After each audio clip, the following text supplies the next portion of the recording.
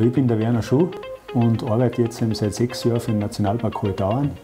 Komme gebürtig aus Zell am See und habe äh, meinen Hintergrund von der Lebensgeschichte her. Ich bin Skiführer, Skilehrer, bin sehr früh ins Ausland gegangen als Trainer, als Skilehrer, habe auch da gearbeitet, war dann über zehn Jahre in Kanada, Schweiz, Frankreich, Yukon tätig und wie gesagt, bin vor einigen Jahren zurückgekommen.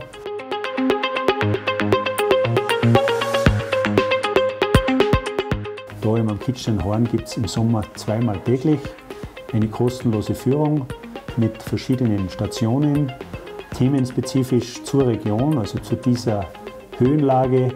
Und dann, wenn man in die Galerie kommt, steht man sozusagen Auge in Auge mit den höchsten Bergen Österreichs, Großglockner, und man schaut direkt in den Nationalpark Hohe Dauern ein, den größten Nationalpark der Alpen. Und das ist eben eine schöne Sache, man kann das gut vermitteln.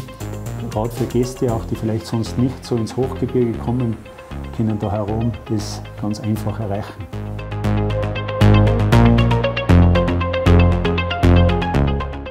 Mir gefällt eben da, dass man wirklich alles hat. Du hast Veranstaltungen, du kannst hingehen, wenn du dann einen Wirbel haben willst, sozusagen, oder Events, wie man da heute sagt, dann kannst du das anschauen, kannst du aber genauso gut in einer halben Stunde komplett in einem abgeschiedenen Waldstückchen sein oder hinten draußen sein, irgendwo im Hochgebirge, wo du den ganzen Tag keinen Menschen siehst. Also das macht es wirklich aus. Also diese, diese Mischung, wenn man sagt, du brauchst eine Ruhe, dann gehst du eine halbe Stunde, eine Stunde und bist weg von allem. Kannst du aber auch, und es ist alles sehr, sehr erreichbar. Also du bist in einer Stunde in Salzburg, in vier Stunden in Venedig. Und du kannst also, das ist links sehr zentral, sehr günstig. Das ist eine tolle Region zum Leben. Ja. Gute Lebensqualität haben wir.